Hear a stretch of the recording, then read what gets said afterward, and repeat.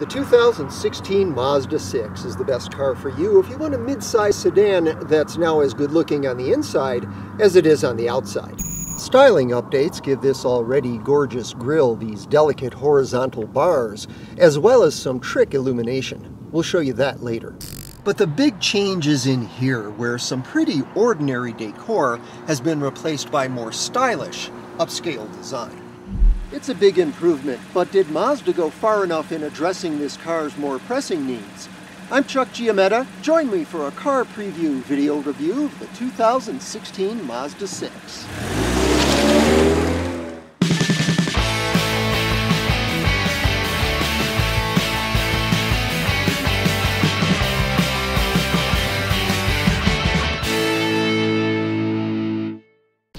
The 2016 changes come early, just two model years after the 6 was fully redesigned. Credit Mazda with moving quickly to make its biggest car more appealing in a class in which it ranks 10th out of 14 in sales, well behind the Toyota Camry, Nissan Altima, Honda Accord, and Ford Fusion.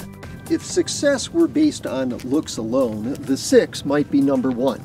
But in a competitive segment where buyers prioritize roominess and price, fuel economy and safety features, a great body and terrific road manners apparently aren't quite enough.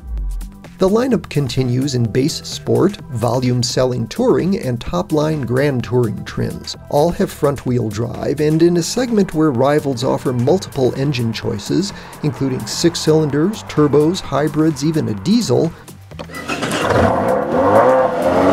this Mazda has just one. It's a four-cylinder with 184 horsepower. That's not bad for a base engine in the class, but its performance falls short of the excitement suggested by the rest of the car. Acceleration is sufficient at best. The 6 cries out for the punch of a turbocharged 4 of around 2 liters, the new standard in this class. Still, enthusiasts take heart that the sport and touring models still offer manual transmission. A 6-speed automatic is an option for them and standard on the Grand Touring where it comes with paddle shifters.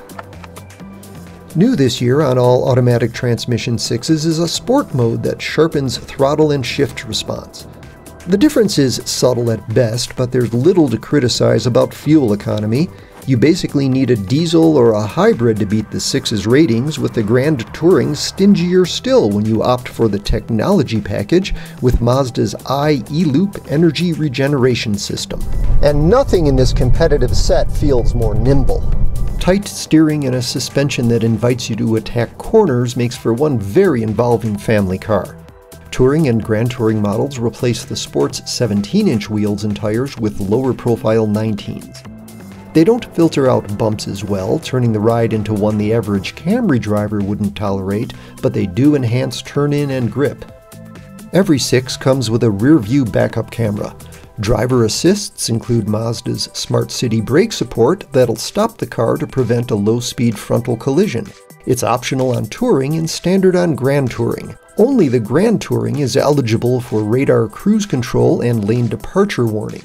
They're part of its $2,200 technology package. For 2016, Mazda complements those athletic road manners with some wicked new lighting. It's a celebration of electroluminescence, courtesy of LED headlights and fog lamps and a delicate necklace of diodes beneath the grille. The setup is included in the Touring model's $1,700 technology package and is standard on the Grand Touring in place of last year's bi-xenon headlights. That cutting edge lighting fits the spirit of this new dashboard and console. They're purposeful and contemporary, materials quality is excellent. A highlight is this 7-inch tablet-like screen that's new for automatic transmission models. It replaces a 5.8-inch display and is an improvement in clarity and positioning. It accesses various vehicle, information, and entertainment systems through Mazda's well-designed cluster of console buttons and knobs, themselves flanked by another new feature, an electronic parking brake. Overall, this is the sportiest cabin in the class, with a small diameter steering wheel and sports car worthy main gauges. Newly standard on the Grand Touring is this plastic panel that puts vehicle speed and a few other data points in the driver's line of sight. It's not as comprehensive as a true head-up display and deploys when you start the car and stays deployed whether you like it or not. Leather remains a Grand Touring exclusive, but all versions get revised seats. They improve lateral bolstering, but heftier frames might find them a bit confining. In fact, the 6 has one of the narrowest interiors in the segment. It can feel a little like a compact car in that regard. The back doors open exceptionally wide and rear legroom is above average, though larger folks will want more thigh support and maybe more headroom too.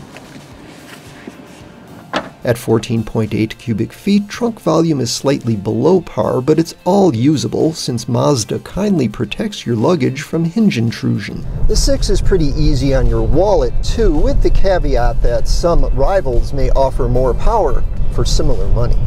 Base prices are competitive, and the automaker doesn't overcharge for option packages considering what you get. But at more than 31000 to start, and at 33.4 as tested here, the Grand Touring is up against rivals with smoother six-cylinder engines and livelier turbo 4s. If you're not among the roughly 7% of this car's buyers who order manual transmission, check out a Touring with automatic.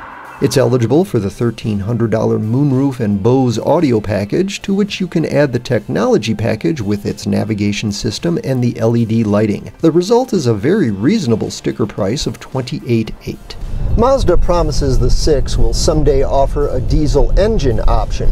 That would be an intriguing addition.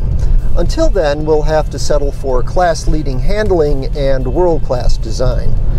For more on this and other cars, trucks, and SUVs, go to carpreview.com and please subscribe to our Car Preview YouTube channel.